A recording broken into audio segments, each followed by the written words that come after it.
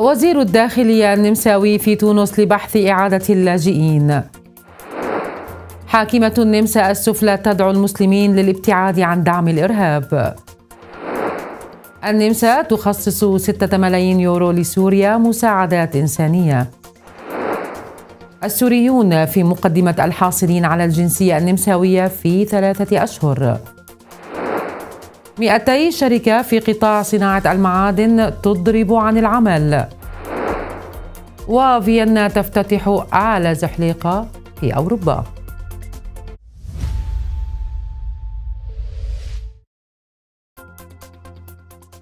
تفاصيل النشرة على النمسا ميديا أهلا بكم. وفي خبرنا الأول بدأ وزير الداخلية النمساوي جيرهارد كارنر ونظيره الدنماركي كاري ديبفاد بيك زيارة إلى تونس تركز على مكافحة تهريب البشر وحماية الحدود وعودة اللاجئين. وافتتح الوزيران مركزا لحرس الحدود التونسي بتمويل من النمسا والدنمارك. وأكدت وزارة الداخلية النمساوية في بيان أكدت على أهمية التعاون لمنع المغامرات البحرية الخطيرة. حيث سيكون التركيز الأساسي على حماية الحدود ومكافحة التهريب وتعزيز التعاون الشرطي والتعاون مع دول ثالثة. وتعتبر الزيارة هي الأولى بين البلدين على المستوى الوزاري. طالبت حاكمة ولاية النمسا السفلى يوهانا ميكل لايتنر المسلمين برفض الإرهاب ومعاداة السامية داعية المساجد والمدارس للاهتمام بهذا الصدد. وأعلنت لايتنر عن تضامنها مع ضحايا إسرائيل فيما انتقدت الهيئة الإسلامية في النمسا تصريحاتها معتبرة بأنها انتقادا عاما للمسلمين مؤكدة رفضها لهجوم حماس واستمرارها في الحوار. وكان حزب الشعب في النمسا السفلى قد قدم مبادرة عدم التسامح لمكافحة معاداة السامية بما في ذلك تأخير الحصول على الجنسية إضافة لعقوبات مالية باهظة على من يستهين بشروط الاندماج.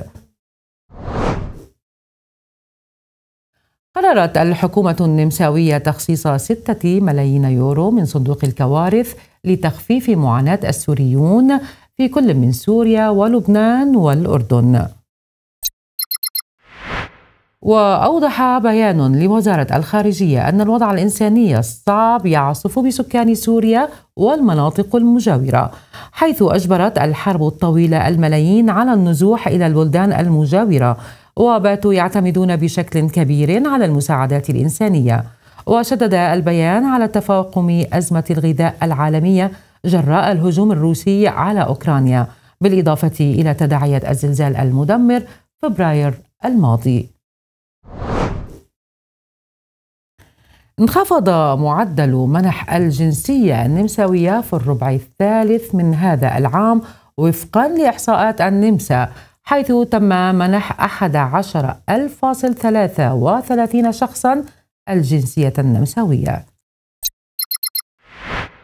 وكان منهم 2614 من المقيمين في الخارج بانخفاض نسبته 1.1% عن العام السابق. وشهدت عمليات التجنيس داخل البلاد ارتفاعا بنسبة 3.5% مع 8419 حالة. نصفهم إناث وثلثهم دون الثامنة عشر. وكان حوالي 38% من المجنسين في النمسا من أربع دول رئيسية.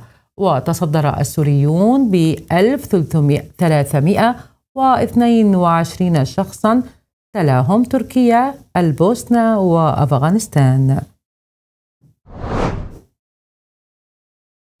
بعد ست جلسات جلسات مفاوضات باتت بالفشل دخلت صناعة المعادن في إضراب حيث أضربت حوالي 200 شركة في معالجة المعادن هذا الأسبوع. وحدد يوم الاثنين المقبل موعدا للجولة السابعة من المحادثات بين أصحاب العمل والموظفين. ويعد هذا الإضراب الأول لعمال المعادن منذ العام 2018 حيث ينصب التركيز على التعويضات والتضخم مع مطالب تصل إلى 11.6% في الأجور حيث تستهدف المفاوضات تضخما يبلغ 9.6%